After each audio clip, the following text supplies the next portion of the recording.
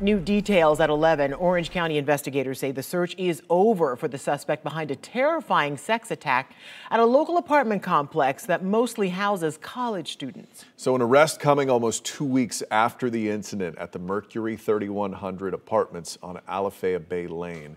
News 6's Treasure Roberts joins us in the studio with new details about that suspect. Treasure. Matt Ginger, he was caught on video last month, and this video has been slowed down, but you see him running towards the victim's unit not long after, though. He ran back toward the stairwell. According to deputies, he was only on the property for about three to seven minutes. Orange County deputies Wednesday arrested 31 year old Xavier Mendez. He's facing multiple charges, including attempted sexual battery. On November 26th, surveillance video captured him running through a building at Mercury 3100 Apartments. Deputies were alerted that Mendez entered a woman's apartment as she was arriving home after grabbing food. She told deputies Mendez threw her onto a chair, then the floor, and tried to take off her shorts. The victim fought back, kicking and screaming for help until her roommate came out of the bedroom with a pair of scissors. That's when the suspect ran. Mendez faced accusations in 2022 similar to this most recent incident.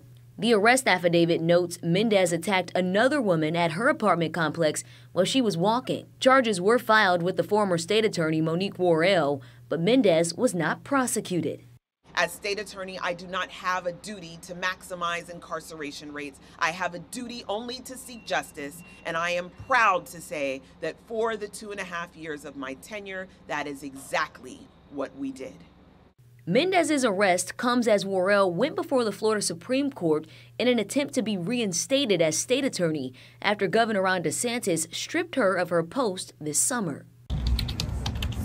I sent an email to Worrell's point person asking why she didn't file charges. While digging through court records to find that specific case, I found another criminal complaint from 2015 where Mendez again was not prosecuted, this time by former state attorney Aramis Ayala. What I couldn't find, though, was the case from 2022. I typed in the case number noted in the arrest affidavit, but nothing came up.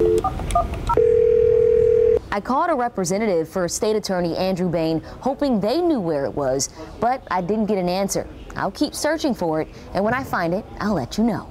Treasure Roberts, getting results, News 6.